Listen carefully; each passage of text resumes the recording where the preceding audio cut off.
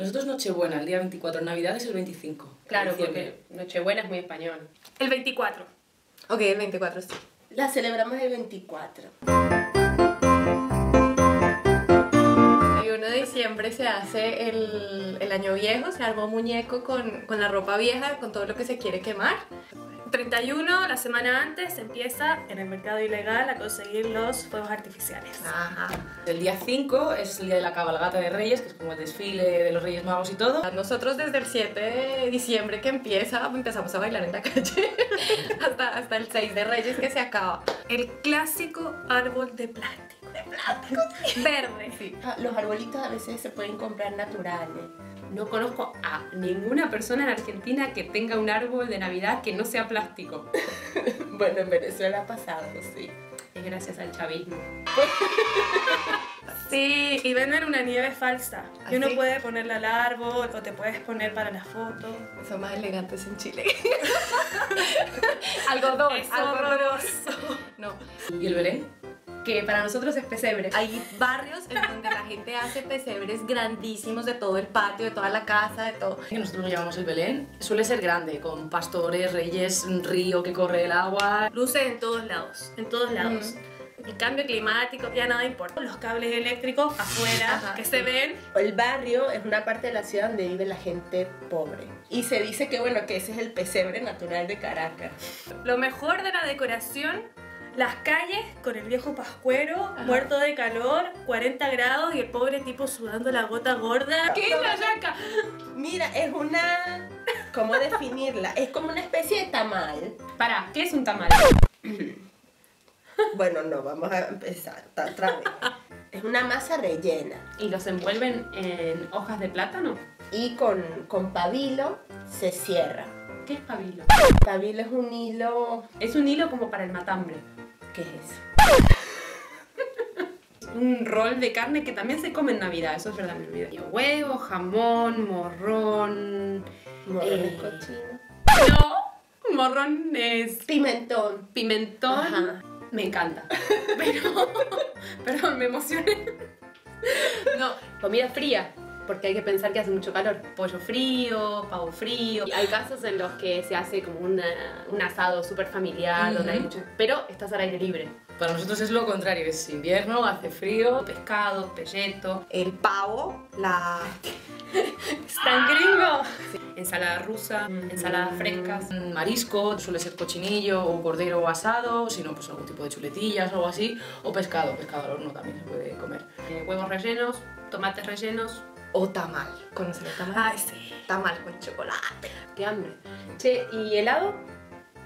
No, estamos en, en, pu- En temperaturas distintas. Pleno invierno, no, el helado no estoy bien. Uf, salen kilos y kilos de helado de todo tipo. Bananas dulce de leche, chocolate con almendras, granizado, zamballón. Pan de Pascua.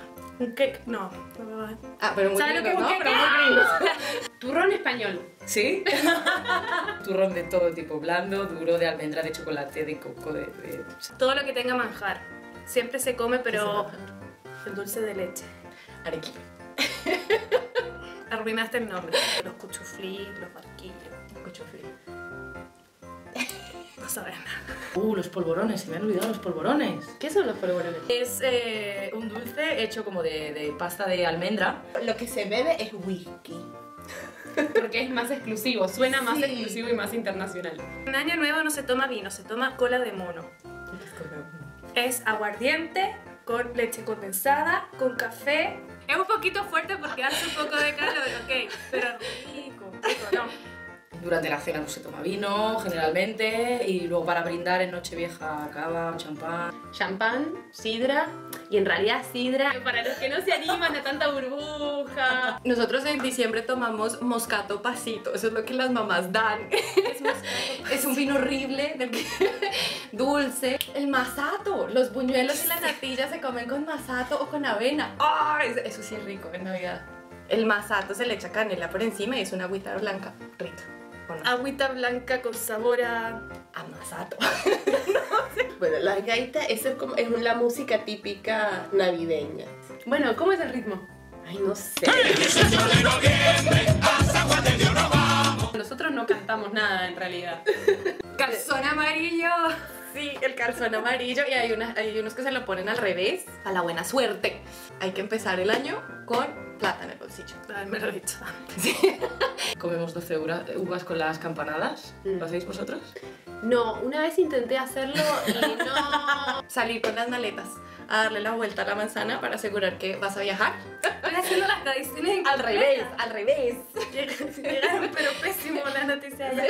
Y entonces todo el mundo se encuentra en la calle con maletas. ¡Hola, feliz año, feliz año! No, muy raro. Puede, puede que te encuentre otros vecinos. Nosotros hacemos las lentejas en la billetera para, ¿Qué? pues sin cocinar, las, las lentejas crudas en la billetera para que haya plata. Qué pérdida de comida. En, en Nochevieja se supone que da buena suerte ponerse ropa interior roja. No, nosotros usamos bombachitas rosas, las chicas. ¿El qué? Pantaleta.